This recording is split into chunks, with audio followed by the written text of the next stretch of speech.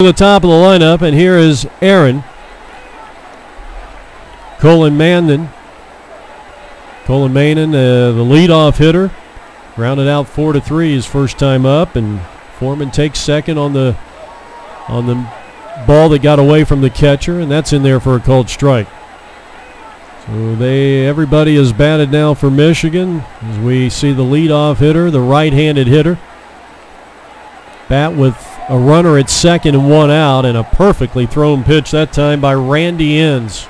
He could use another one, change up, and this one has popped up, and the first baseman just in foul territory, about three or four feet in foul territory from right of that first base bag, hauls it in, and Dave Bennett's done it again, two down.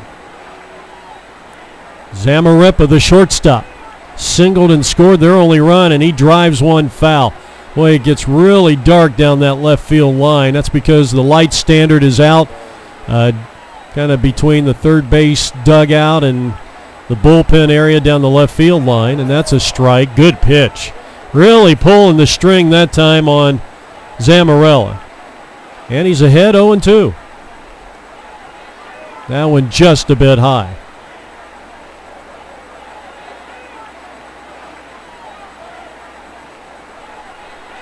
Change up, ground ball down the third base line. It is foul.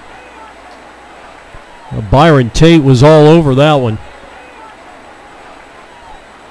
So another 0 2 pitch coming up to Zamarripa. Yep, that's his name. Z A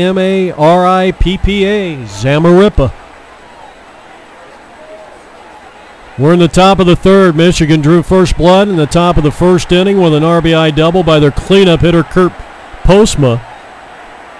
But then a three runs bottom half of the third inning as that pitch is swung on and fouled at the plate, and Zamarripa stays alive. Another 0 2 pitch, and that one a curveball just off the outside corner.